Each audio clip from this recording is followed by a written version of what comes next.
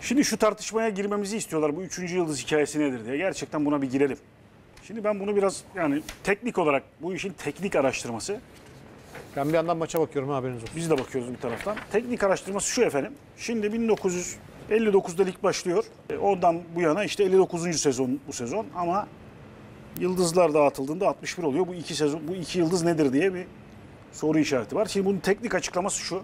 Var aslında çok net bir açıklaması. Ee, 57'de ve 58'de UEFA Şampiyon Kulüpler Kupası evet. için Beşiktaş'a şey gönderiyor. Daha doğrusu Türkiye Futbol Federasyonu'na yazı gönderiyor.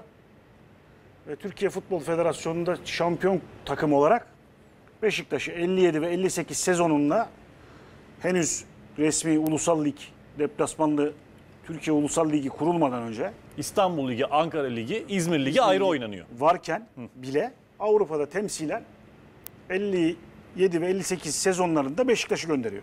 2000'li yıllarda rahmetli Cenk Koray çok iyi bir Beşiktaşlıydı Allah rahmet eylesin. Çok da iyi televizyoncuydu. UEFA'da yazışıyor ediyor, konuşuyor ediyor ve bu iki şampiyonluğun evet UEFA'da diyor ki doğru yani o sene sizin federasyonunuz o iki yıl bize yazı göndermiş. Ve siz Türkiye'yi o iki sene temsil etmişsiniz. Dolayısıyla Beşiktaş bu iki yılı da tescil etmek için Haluk Ulusoy Federasyonu var. Haluk Ulusoy Federasyonu'nun o dönemden bahsediyoruz. Yani bu bugün yarın, geçen sene, iki sene evvel falan çıkmış bir şey değil. 2002'den bahsediyoruz. O zaman yıldız mıldız muhabbeti çıkınca bu iş oluyor. Şimdi bu iş nereden çıktı onu da size söyleyeyim. Bu Haluk Ulusoy'un oğlu Saffet biliyorsunuz iyidir. İyi bir futbol severdir. 10 şampiyonluğa bir yıldız veriliyor İtalya'da biliyorsun. Saffet de bunu öğrenip babasıyla paylaşınca o zaman da tabii 10 şampiyonluğa bir yıldız muhabbet olduğunda iki takım alabiliyor sadece yıldız. O dönem içinden Beşiktaş KC'sini verebiliriz Hakan abi. Ee, işte Galatasaray'ın da 3. yıldız durumu var. 2002 senesinde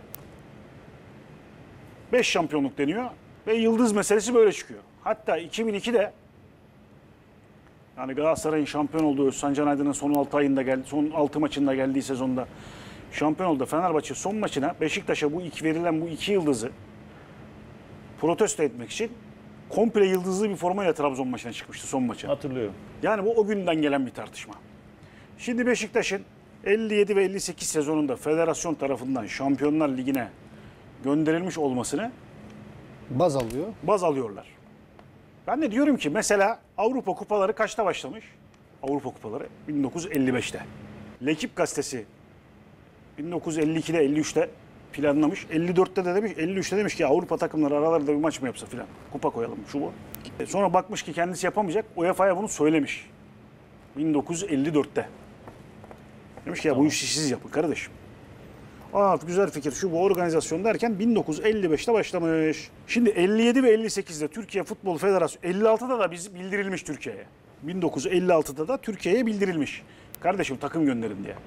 Türkiye Futbol Federasyonu 56'da göndermemiş. 57-58'de Beşiktaş'a göndermiş. Bu iki şampiyonluk bugün 3. yıldızın altyapısını oluşturan iki yıldız. Şimdi bu bir tarafta. Ve fakat geçmiş şampiyonluklar sayılsın diyenlerin haklı oldukları nokta şu. Ne? İngiltere'de, İtalya'da, efendime söyleyeyim İspanya'da e, veya işte Almanya'da ligler hepsinin lig formatları geçmiş yıllarda değişik olmakla beraber adam 1900'lü yılların başındaki şampiyonluğu da sayıyor. Sayıyor. Yani o zaman onlar da bizde nasıl Ankara, İstanbul, İzmir ligleri var. Orada da bölgesel ligler var ama lig şampiyonluğunu sayıyor. Adam diyor ki 1899'da atıyor. Sallıyorum şimdi bilmiyorum. 1899'da, 1898'de Sheffield şampiyon oldu diyor. Tamam. Bizde de madem bu iş burada orada 1900 bazısı diyor ki 1910'dan 11'den itibaren sayılsın. Bazısı diyor ki en azından federasyonun kuruluş yılı 23'tür. Cumhuriyetle beraberdir. Cumhuriyet tarihinin ligleri sayılır. 1923 itibariyle sayılsın. Çünkü hani İngiltere 1899'ları sayıyor ama Sen ne? İngiltere o zaman da İngiltere. Yani biz 1923'ten sonra yepyeni bir devletiz. Oradan sonrası sayılsın. Sen diyor. ne diyorsun? Bence kesin ve net olarak sayılmalı. Niye? En baştan sayılmalı. 23'ten. 23'ten. Federasyon kuruluş 23'ten önce tarihi- Türkiye yok çünkü. Evet. Ya, Mevzu ama, Türkiye. ama mesela şöyle bir şey var. Ya o zamanki İspanya da farklı bir İspanya falan. Gibi bir durum var diyor. Mesela yani ama yani onlar saymışlar ama bence 1923 idealdir. Federasyonun kuruluş tarihinden itibaren şampiyonluklar sayılmalıdır. Çünkü o zaman sen Lefter'i, Metin Oktay'ı, efendim Baba hakkı. e, Baba Hakkı'yı, Zeki Rıza Gün- Spor'a. Gündüz baş, babayı, Baba Gündüz'ü filan e, saymamış oluyorsun biraz. O zaman bunları efsane olarak sayıyorsun. E, şampiyonluğunu saymıyorsun. 20 küsürler oluyor o zaman Bu durumda Beşiktaş'ın 4 yıldız oluyor zaten. Tabii. 21 oluyor, 4 yıldız oluyor. Evet. Galatasaray'ın da 21 veya 22 oluyor. Fenerbahçe'nin de 28 oluyor. Dolayısıyla bu yıldız ya bu, bu yıldız muhabbetine şimdi bu Beşiktaş'ın 57 ve 58 şampiyonluğu Türkiye Federasyonu onaylamış. Tamam. Seni Avrupa'ya göndermiş. Avrupa kriteri ise bu. Avrupa'ya gitme kriteri ise bu dünyanın hiçbir yerinde böyle bir kriter yok. Zaten 55'te başlamış. O zaman herkesin 55'ten başlatması lazımdı. İspanyolların da, Almanların da, İngilizlerin de 55'ten başlatmaları lazım. Dolayısıyla Beşiktaş'ın 3. yıldızı hayırlı uğurlu olsun.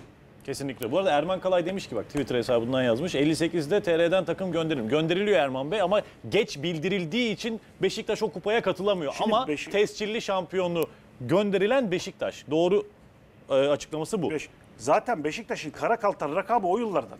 Tabii. 9 öncesinden.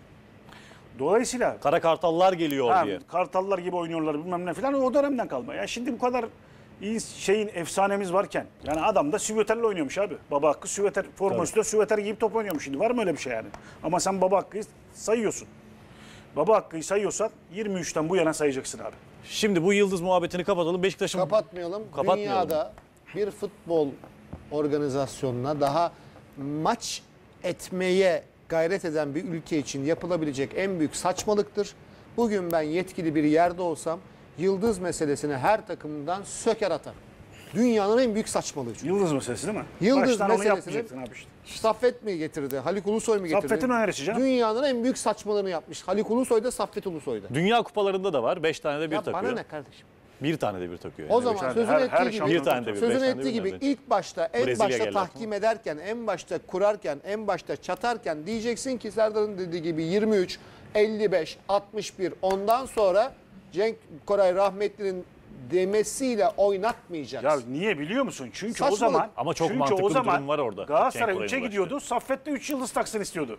Eğer böyle bir Mesele şey bu ya. eğer böyle bir şey yaptıysa sen şu anda suizan ediyorsun. Öyle bir şey yaptıysa çok büyük bir ayıp etmiş Saffet Ulusoy. İki, Saffet başkan değil ki abi. Saffet babasına söylüyor. Babası yapıyor işte. Tamam işte. yani büyük- çok büyük bir ayıp etmiş Ulusoy ailesi. İki, yani bunun 13 mü, 15 mi, 20 mi bir saçmalıktan öteye Türkiye'ye hiçbir katkı vermediği ve bunun körüklenen bir tartışma haline geldiğini düşünüyorum. Rezil bir iştir. Yıldız işi bugün yetkim olsa, yani Spor Bakanı Akif Çağatay Kılıçma dese ki ya bir tane hakkım var Türk futboluna ne yapmak istiyor? Şu yıldız meselesini atarım. Ya bu neymiş ya? güzel. Benim Bak o da güzel muhabbet. Benim bu da olur abi. tuttuğum takımın kıymetini, değerini yıldızla ölçecek bir ölçü birimi yoktur, olamaz. Sakarya Sporu tutuyorum. Yemişim yıldızı ya. Tabii canım. Ankara gücünü tutuyorum. tabii. Bursa Sporu tutuyorum. Yemişim yıldızı bana ne kardeşim? Trabzonspor'u tutuyorum. Tek yıldızlık takım mıyım ben? Büyük takımım. Ya bırakın abi. O yüzden geçmiş olsun. Ee, tekrar söylüyorum Sayın Akif Çağatay Kılıç inşallah bana bir gün veya herhangi bir spor Evet, ama yetki verir, yani ya- kaldırırım. Çok doğru. Birinci ben de Mehmet'e bu konuda katılıyorum. Yıldız'a karşısın. Ya Yıldız'ı kaldırın ya da 23'ten sayın kardeşim. Bu say- bu tartışmalar bitsin. Peki.